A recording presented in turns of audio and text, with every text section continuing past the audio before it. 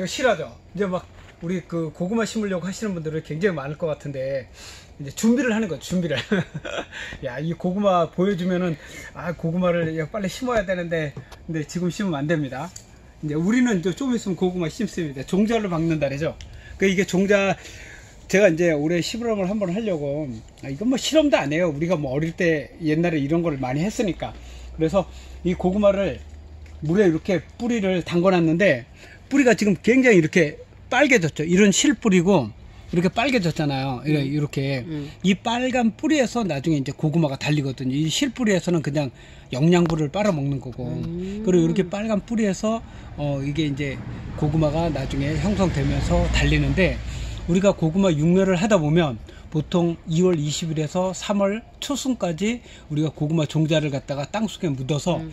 종자를 합니다. 그래 싹을 이렇게 이게 이제 땅에 묻었다면 이게 묻은 거다면 이게 이제 싹이 이렇게 올라오거든요. 물론 이제 고구마 종자 할 때는 이걸 눕혀서 심지만은 근데 나중에 이제 6월 10일에서 15일쯤 돼서 어 이걸 고구마를 갖다가 캐내다 보면 이 고구마 뿌리에서 나온 데에서 고구마가 이렇게 달리는 경우가 꽤 많아요. 예. 그러니까 일- 그래서 그냥 고구마를 이렇게 땅 속에 종자용으로 묻었는데 이거를 이 고구마를 이렇게 종자를 묻었는데 이 밑에서 뿌리가 나는 거예요. 뿌리가 나서 요 줄기에서 이렇게 고구마 뿌리에서 이렇게 고구마가 막 달리는 거야. 응. 그러니까 이 줄 잎사귀 이 줄기를 여기 이거를 끊어서 여기서 여기서 뿌리가 나서 고구마를 달리는 것도 있지만 실질적으로 이 여기에서 이 뿌리가 고구마 지금 물에 담궈 놨잖아요 이렇게. 물에 이렇게 고구마를 담궈 놨는데 이 뿌리에서 고구마가 달린다 이거죠. 응.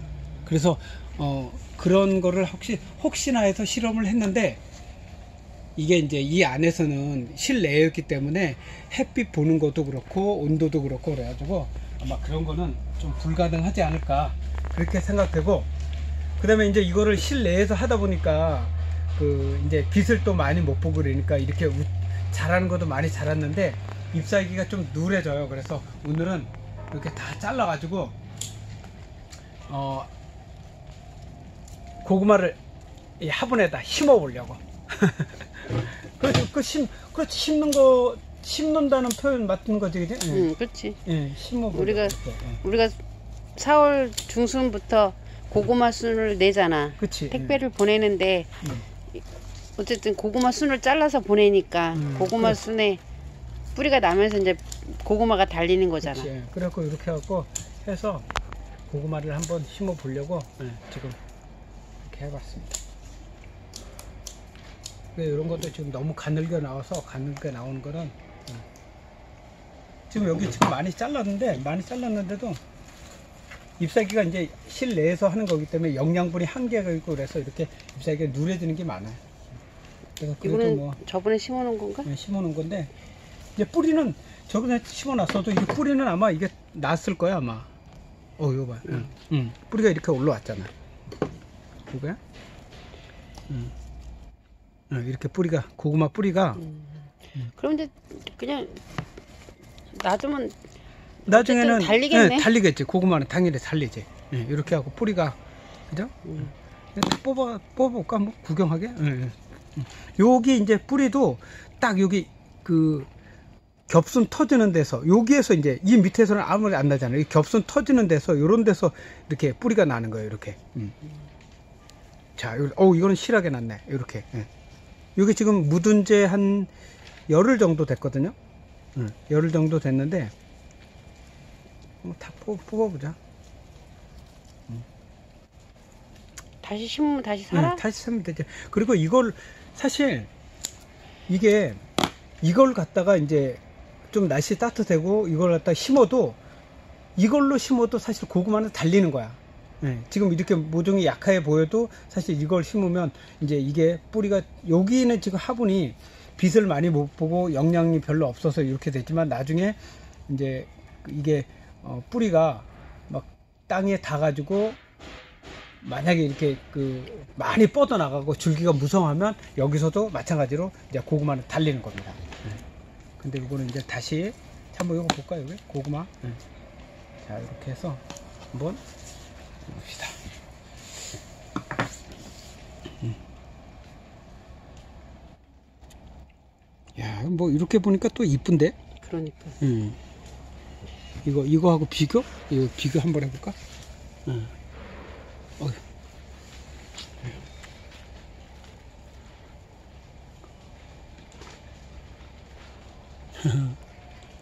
그리고 이거는 죽은 건가? 이파리가 하나도 없지? 다 떨어졌지? 응, 이거? 응. 아, 이, 이 뿌리는 다 이렇게 났네. 그러면 요 이게 마디에서 이런 마디에서 이제 나중에 새, 아, 요 새싹이 올라오기 시작하네 여기. 예, 꽃그 새순 눈이 보이네. 예, 이렇게 마디에서 다 새순이 올라와요. 그래서 우리가 고구마를 심어 놓고서 보면 고구마가 이제 우에는 심고 나면은 사실 이 우에는 땅에 묻힌 거 외에는 우에는 이제 말라가지고 싹이 없는 것 같은데 이제 어느 정도 시간이 지나면 새순이 올라와 가지고 거기에도 이제 고구마가 또 살아나고 그런 거 있잖아요. 예. 뭐 그런 것 거예요. 요것도 음. 자, 요것도 마찬가지로 이렇게 예. 마디에서 이렇게 뿌리가 나는 겁니다. 마디에서. 음. 한번 다 뽑아 볼까? 음. 근데 이렇게 이렇게 해 가지고 음. 이렇게 해서 사실 해 봤자 모두 약해요, 모두. 이렇게 쭉쭉 뻗는 거는 이거는 지금 예, 너무 우짜라니까 이렇게 잘라줘야 돼. 지금으로서는. 음. 지금은 뭐 이렇게 우짜라는 거는 사실 어, 좋은 게 아니니까. 음. 여기 이제 꿀고구마도 있고 자색 고구마도 있고 이러는데 요걸 이제 한번 조금 날씨가 약간 포내지, 포근해지면 한 한두 개씩 해가지고 화분에 별도로 옮겨 심어야 돼. 옮겨 심어야 되고 음, 요거는 지금 이제 어, 이렇게 다시 자른 거니까 자른 거니까 여기에 어, 일단 가식을 해놨다가 봄에 다시 봄에 다시 옮겨 심는 걸로 그래서 나중에 수확하는 것까지 제가 어, 보여드리도록 하겠습니다. 이게 과연 될까 안 될까? 뭐 저는 제가 고구마 모종 10년 정도 했는데 당연히 된다고 봅니다.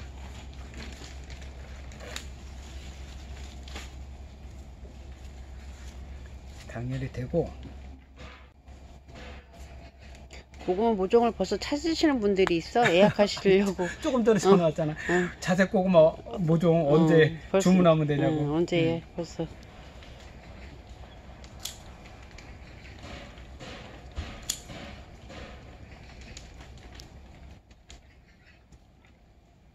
어, 이제 조금 있다가 제가 이제 한 3월, 2월 말이나 3월 한 중순 정도 돼서 어, 제가 이 고구마, 고구마 밭, 어, 우리 이제 일반적으로는 고구마는 거름을 안 줘야 된다 그랬잖아요. 누가 그래? 누가? 몰라. 절대, 절대 고구마도, 고구마도 거름이 반드시 필요합니다.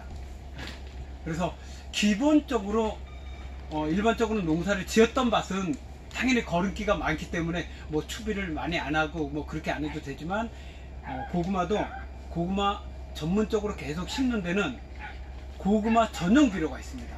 이제 질소질이 좀 낮고 인상 가리가 약간 높은 것들. 그러니까 뿌리 작물에 어, 도움이 되는 그런 게 있습니다. 그래서 그런 것들을 갖다가 이제 우리 또 강아지들이 저기 또 난리네. 어, 그런 것들을 갖다가 어, 전용으로 고구마 밭에 고구마나 감자 그런데 전용 비료를 하게 되면 고구마가 신배기는 것도 훨씬 적어지고 고구마 우리 신배기는 거 많잖아요. 음. 그러니까 고구마 신배기는 거 하고 그다음에 이제 그 맛이라든가 어, 그런 것들이 그다음에 고구마도 훨씬 더 많이 달려요. 그러니까 그런 것들이 어, 그 전- 고구마 전용 비료에 의해서 이제 만들어질 수가 있는 거예요.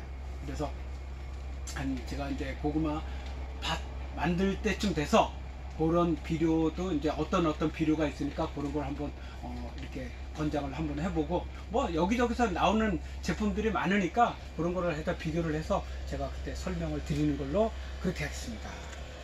아, 뭐 오늘 고구마에 대해서 이렇게 조금 잠깐 그래도 모종에 대해서 설명을 드렸는데 앞으로 이제 고구마 얘기가 또 많이 나올 거잖아요. 우리도 이제 2월 말 되면 고구마 종자도 묻고 해야 되니까 고구마에 대해서 어, 영상을 제가 아는 대로 어, 그래도 뭐 지금까지 경험했던 그런 내용들을 갖다가 앞으로 쭉 영상을 해서 어, 올리도록 하겠습니다. 그럼 지금 화분을 네. 아직은 하우스 안에다 놓으면 안 되겠지? 아, 직은안 돼. 요 추위가 이제 앞으로 일주일 예. 정도가 지금 뭐 영하 8도 뭐 몇 도 정도 된다 그랬어요. 그러니까 요 추위 일주일 정도만 있다가 응.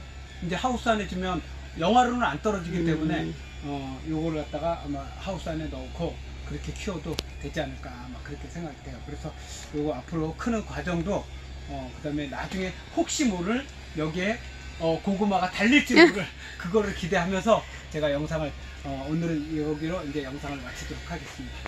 어 한번 고구마에 대해서 이제 쭉 제가 영상 올릴 거에 도움이 됐으면 구독, 좋아요 누르시고 어, 오늘도 좋은 하루 되시기 바랍니다. 감사합니다. 솔바이 농원 감, 솔바이 농원 아니 솔바이 농원 튜브였습니다. 감사합니다.